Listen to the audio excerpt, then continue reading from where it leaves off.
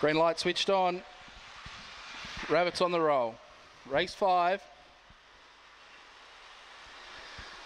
Racing, a nice even dispatch. Total Ringer got out nicely to cross down and go to the front. Uh, out wide with its run now was Little Cindy. A big break back. Rice to Riches punching through Braylon Phoenix to its outside. Son of Zeus, a break going forward. There was Beckham Casey, and then came Stevie's Turbo, and last of all was Katie on the side of the circle. And have a look at little Cindy go. She put the paw to the floor and raced away. Little Cindy by four and a half total ringer. Then came Rice to Riches in behind them, Braylon Phoenix. Then came Son of Zeus there with Stevie's Turbo to the outside. Beckham Casey and Katie was the last one in and around 22 and 9.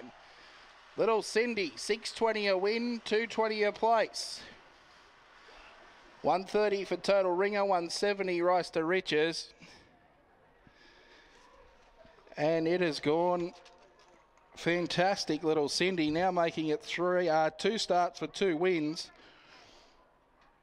It beat uh, Charlie's Wow Wow on uh, debut by three and a half lengths in a time of 23 and 14.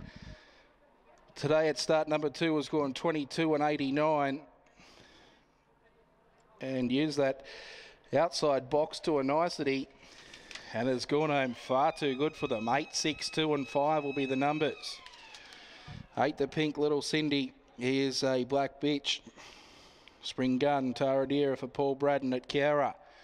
Six the green, total ringer for Leighton Winner at Brocklehurst. Two black and white, Rice to Riches, Jamie Bush, and five the yellow, Braylon Phoenix for Paul Wasson.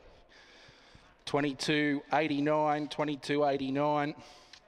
9 13 13 and 76 three and a half the winning margin three and a quarter separating second and third three and a half three and a quarter and little cindy too good for them there in the fifth event. The can the ban fifth grade over the 400 and we're just awaiting the all clear signal